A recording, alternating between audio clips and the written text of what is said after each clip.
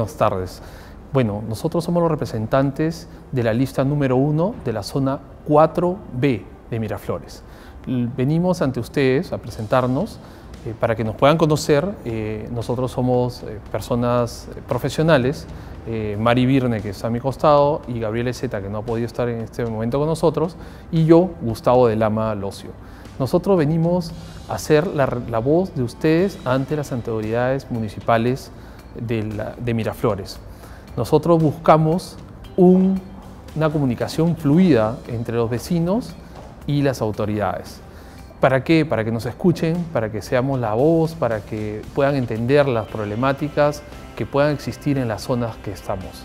La zona 4B comprende desde el Malecón, eh, Malecón Balta, eh, por Recabarren y Jorge Chávez, es una línea que va hasta Pardo.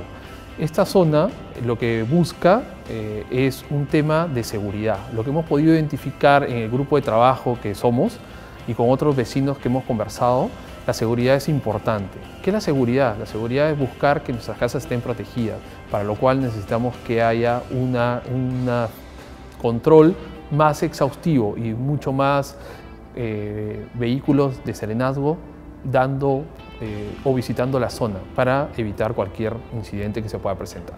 Lo que nosotros también hemos visto y hemos identificado es el tema de, visualización vial. ¿Qué quiere decir visualización vial? Creemos que las actuales eh, zonas rígidas que hay no se están respetando. Los sitios donde la gente se está estacionando está impidiendo el tráfico correcto de los autos.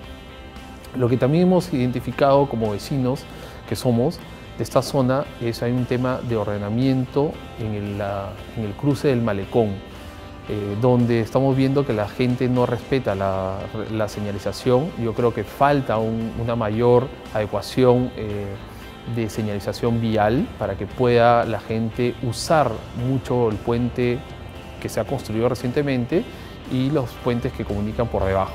Ahora la, la gente sigue interrumpiendo el tráfico, cruzando intempestivamente por, las, por la pista.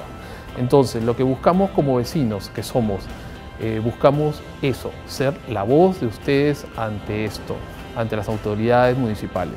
Y cualquier cosa, vamos a estar con ustedes de la mano y nos van a poder ubicar donde, donde quieran. Como les digo, somos un equipo de profesionales aptos para poder ser su voz ante el municipio. Gracias.